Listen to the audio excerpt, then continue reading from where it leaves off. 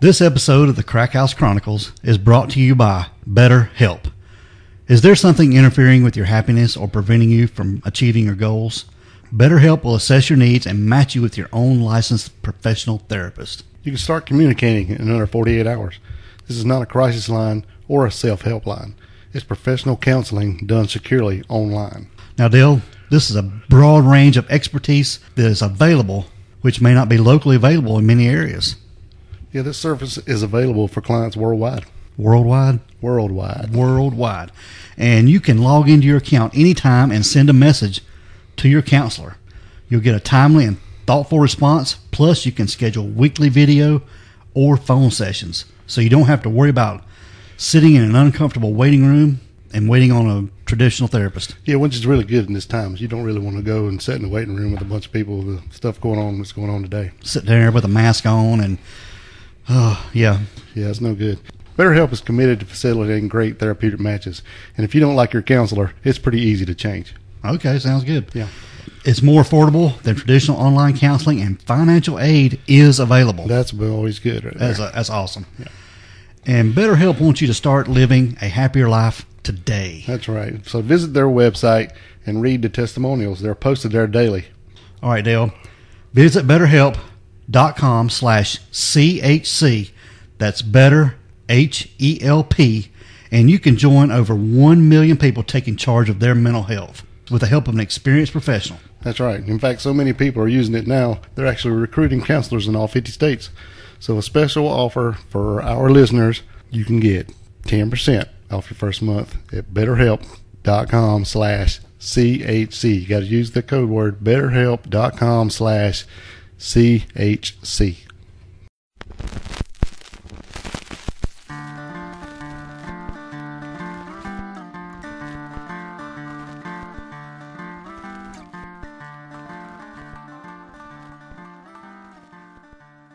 Killer will now spend the rest of his life behind bars. That's after Scott Williams pleaded guilty to three first degree murder charges. WCNC's Glenn Counts is live at 6 from our mobile newsroom in Union County tonight with more from one of the investigators who broke this case. Glenn? Well, Sonia, this is where Scott Williams spilled his horrible secret. Not only did he murder three women, he butchered them. It was a tough story to hear, even for a professional. This is the face of a monster, according to the family member of one of Scott Williams' victims. He's a, a unique individual. Uh, you know, I, I don't know what else to say other than that. It's he's he's like no one else I've ever met before. Sergeant Brian Helms of the Union County Sheriff's Department worked on this case.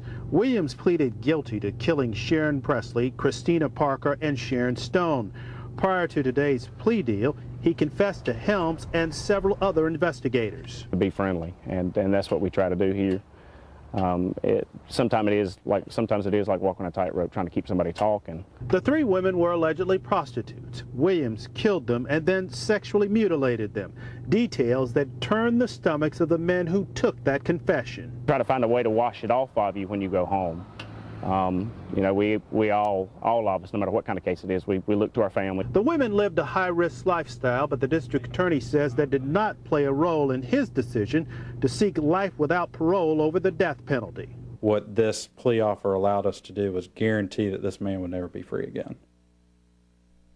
One of the family members wanted to talk to us on camera, but a few of them told us that they would have preferred the death penalty, but they are satisfied that Williams will never be a free man again.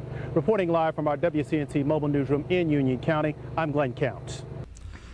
Hey, what is up, everyone? Welcome to the Crack House Chronicles. I am Donnie, your host, and with me is a man who just ate a chicken bacon Swiss sandwich with fries like some freaking health nut. It's Dale. It was lean, lean protein. Lean chicken. This was a big damn sandwich. It's a big sandwich. Yeah, no, I didn't eat it all. I tried. And thanks to Nanny's. Yeah, shout out to Nanny's, man. It was the best chicken sandwich ever. They got some good food, man. Mm-hmm. And speaking of shout outs, you got any more shout you got any shout outs for us today? Yeah, we'll give a shout out. We're going to give a shout out to uh, Susan Cannon. Uh, she sent us an email and uh, left us some, some kind words on our YouTube channel. Shout out to the YouTube channel. She had a friend that was mentioned in uh, a previous episode we did on Henry Lewis Wallace, the Taco Bell Strangler, who was a serial killer in Charlotte. And that's uh, episode 49 if you want to go back and check that out. But uh, her friend Deborah Slaughter was one of the victims in that that episode, and uh, she said that she had actually uh, offered that girl a ride, you know, and probably the day before she is she was killed. So we just want to give a shout out to her and tell her, uh, you know, we appreciate her emailing us, and uh, rest in peace to your friend there, De- Deborah. And we are so sorry for the loss of your friend, like Dale said. Mm, it's hard stuff. Can't imagine. All right, Dale. Uh, want to remind everybody to uh, check out our store page on our website. Get you a T-shirt, mug. Also, go to Apple Podcasts, leave a five star rating five star. and review. It really does help the cause. Yeah, shout out to a few of you who left a couple stars, but we need a review or something. That's it. All right, man. We're gonna get into our episode. Let's do it, man. All right. We have got a North Carolina serial killer. Captain Crunch. No, No. not cereal, but cereal. Oh, my bad. Yep. And his name is Scott Wilson Williams. And he is from Monroe, North Carolina. Monroe. Just out the other side of Charlotte from us. Yep, not far at all. No. And Scott Wilson Williams was born on December the 3rd, 1963, Yep, which makes him 57 years old. fifty-seven. And he is convicted of three murders. Three. Yep. Yeah, that spanned of nine years. Yeah, from uh, ninety-seven to two thousand and six. Yep. His first victim, her name was Sharon House Pressley, Yep. and she was 37 from Charlotte, North Carolina. And she was killed in nineteen ninety-seven. Yep. Uh, Christina Outz Parker, she was 34 from Monroe, North Carolina. And she was killed in two thousand four. And Sharon Tucker Stone, she was 46 from Monroe, North Carolina. And she was killed in two thousand six. Yep. And he had a couple other victims that managed to escape that he tried to sexually assault, but they weren't killed by him. Right. But they were later able to testify at his trial. Yep. All right, we're going to get into a little bit more about Scott Wilson Williams. There's not a ton on him, but we're gonna do what we can. Yeah, there's not much on him, especially his younger life, his school, his parents. You know, where he lived. You know, he's from Monroe, North Carolina. Yeah, and he's in jail not far from here. No, just a couple, about well, about an hour and a half away. Yeah. In Taylorsville, North Spoiler alert. Yeah, Taylorsville, North Carolina. He's Yeah. in pr- prison up there. Uh, Scott had a job, you know, before all this took place with the, the North Carolina Department of Transportation, and he got a yellow truck that he would drive around and I guess do maintenance work, yeah, or whatever they do. whatever they need to do, put out cones or whatever he done. Pick up trash. They, yeah, NCDOT does a whole lot of stuff. They do a lot of things. Yeah. And this job would put him in a vehicle that would not be easily noticed. Right. Yeah, yeah. I mean, you know, you could uh, easily pull over on the side of the road or go up dirt roads or in the woods or, or really wherever he'd really want to go because it's just common to see them um, almost anywhere. You think about how often you see a DOT truck on the side of the road And 10 people standing there with shovels and one working. and you don't think nothing about it. No, you don't. No, I mean you don't, because that's just a normal thing. So it it really give him a good chance to ride around and You give him a good cover. exactly. Yep. Scott Wilson Williams, he was charged in 2006 with the murders of these three women in North and South Carolina, and he entered an Alford plea deal. What does that mean, Donnie? Now, Alford plea deal is a guilty plea in criminal court whereby a defendant in a criminal case does not admit to the criminal act and asserts their innocence.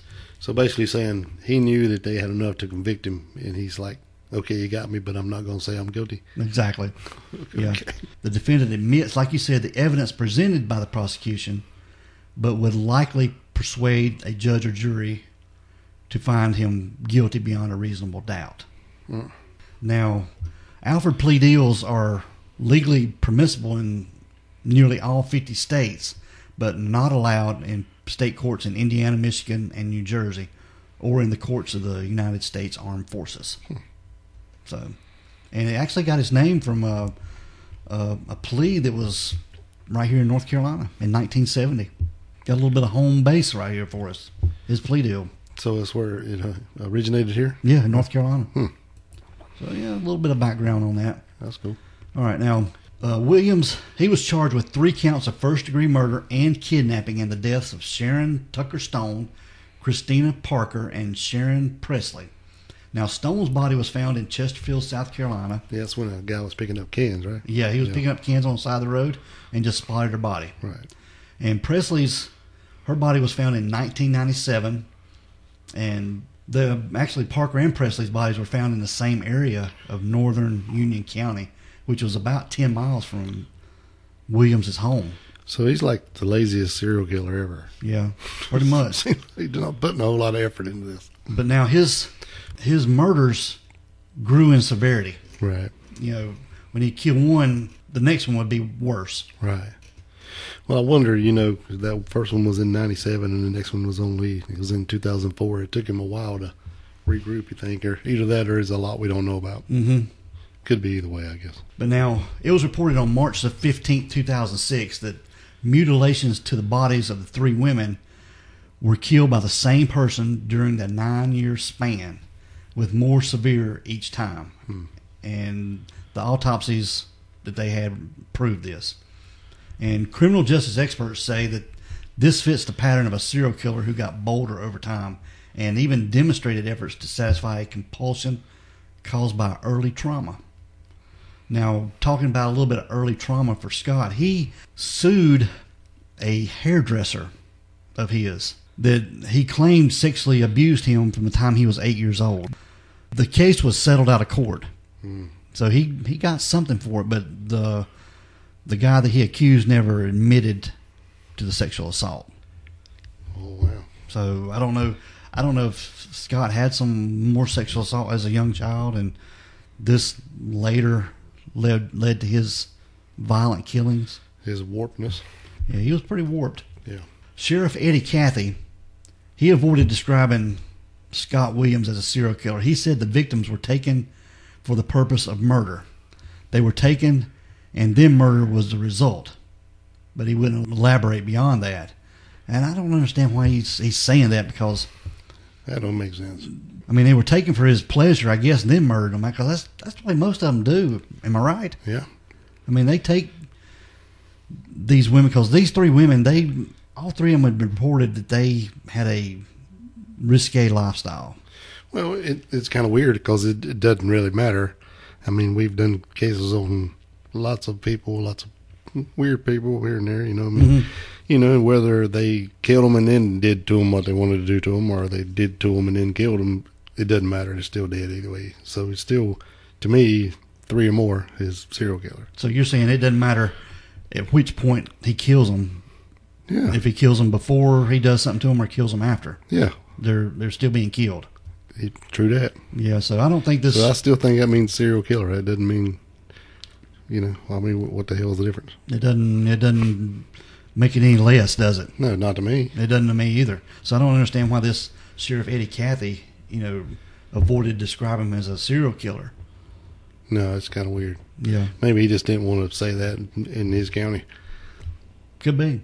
Try to keep that, you know. But all three women were shot to death before they were mutilated, and this was according to the autopsy reports. Right. And there's not much more detail than that. Mm-mm. But the first woman was sexually mutilated, and the second victim's mutilations and sexual and non-sexual were more were more numerous, as the autopsy show. And in the third instance, uh, who was stoned, she was decapitated and dismembered, according to authorities. Ooh. Yeah, So he stepped it way up. it, it, it grew. It grew in escalation, and authorities did say that all three women lived a high risk lifestyle, and that Scott Williams was a part of it. I wonder what that means. I don't know unless they were prostitutes or they had a drug addiction problem or something. Sex worker. Could have been. Paul Friday, he's a UNC Charlotte criminology professor, and he said serial killers typically have revenge fantasies caused by a significant shock in their life. And he said fantasies get more violent over time, and at some point, the opportunity and the fantasy come together and the killings occur. Well, he's dead on about that. Yeah, exactly. He said the first mutilation satisfy them, but then, then they have to escalate because they need more satisfaction and then more and more. So it's like a, an addict, you think, Yeah. more or less. Mm-hmm. Now, on April 20th, 2006, Union County Sheriff's investigators detailed everything they took from Williams' home in the following days of, on his arrest on March 9th. And they found a variety of weapons, including knives, guns. They also took handcuffs, hair samples, and computer equipment. And I'd even read in one place he uh, said he had a Barbie doll collection, which was kind of kind of weird Kind of weird. kind of weird. They even took uh, uh, blood samples, hair, and saliva samples from Williams. And when he was arrested, when they went to his home, he was sitting on the couch watching TV and put his hands over his head and said, I didn't mean to kill those girls. So they pretty much had him. Yeah, I would say so. Yeah. Now, the evidence against Scott Williams included DNA, ballistics from weapons found on his property, detectives said, and investigators also read statements by Williams and two more victims who survived, which show the 44 year old picking up women, torturing, and killing them. Hmm.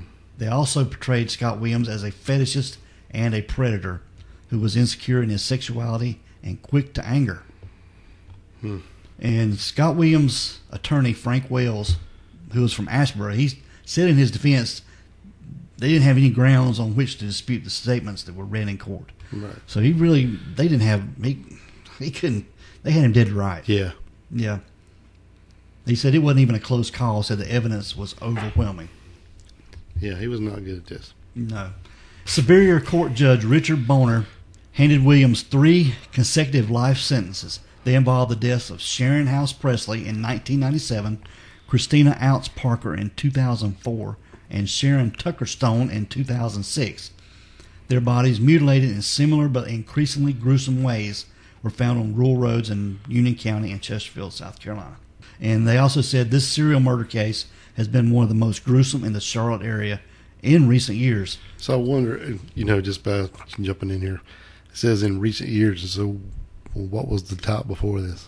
You know, I don't know. You know, Henry Lewis Wallace was pretty rough, Yeah, the one we mentioned at the beginning of this episode. that's true.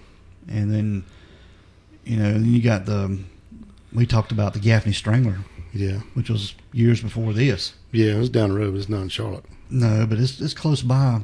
Yeah, At least they said that in this area. Charlotte area. Yeah, okay, I give you that. Yeah. Go ahead. I didn't mean to No, you no, you're fine. I just, you know, it makes me wonder. You know, Is there something we miss? Is what I'm thinking. yeah, So somebody. yeah. But we are always investigating other cases. Yeah, we like local. Mm-hmm. Now, it's reported that Scott Williams walked into the courtroom during his trial. He was tireless and wearing a gray suit. He was shackled at the wrist, and all he did was just answer yes or no questions to the judge. He didn't show any emotion, Dale. And his hair was buzzed. He had the same thick, dark mustache and wire frame glasses. But now you can look at his photograph online. And he don't have that mustache anymore. No, He's he's he's Bud, aged he's Bud Melvin now. He's aged quite a bit Yeah. since uh, his arrest. And it had been even reported some of the mutilations to some of his victims. This is according to Union County Sheriff's uh, Lieutenant David Lento. He said one survivor even told investigators that Scott Williams removed her shoelaces, wrapped them around her breast, tightened them until they turned blue. Damn. And he said, well, he told her that, quote, I was your worst nightmare. I'm your guardian angel. If anyone messes with you, I will kill them. Unquote. The women told detectives. It's, it's crazy. Yeah. So I wonder, did he let her go? I guess he did. It doesn't really say. I mean, it was said, you know, when he got away. Yeah. But man, According to the testimony of Scott Williams, he told investigators that he planned to cannibalize one of the women's remains, but actually was turned off by the smell of cooking flesh. God dang, it would almost have to be Sharon Stone, wouldn't it? He's the only one that she really well. I don't know. That's the one he dismembered. I don't know. If, Yeah. I guess it really doesn't matter. No. That's pretty. That's out there. Yep. One of the survivors who testified in court, who at the time was in her 40s, held up a photograph of herself taken shortly before her 1995 abduction from the parking lot of a 24 hour supermarket and where she was almost raped. It showed a smiling woman with curly brown hair. She described herself as very vivacious and full of life. She was once married and had a beautiful child, but she spoke in a slow, soft, monotone voice. So, Yeah, and said that uh, she was really lucky to survive, but mentally and emotionally, I'm constantly looking over my shoulders. well, I have no doubt. And you know that was even before he killed his first, uh, Sharon Pressley. Yeah, So she could have been one. she could have been. So I guess you know, after her, it escalated into murder. Right. So evidently, Scott Wilson Williams was convicted to life imprisonment without the possibility of parole, and he is currently imprisoned at the Alexander Correctional Center here in North Carolina. Yeah, Taylorsville. So that is pretty much all we have on Scott Wilson Williams. And if anybody else has any more on him, please share it with us. Tell us what you know, and we might have you on the show. Yeah, we'll do an update. We'd love to know more about this guy, Yeah, some of his past life and stuff. yeah, because we looked hard and you know, it's pretty crazy. Yep.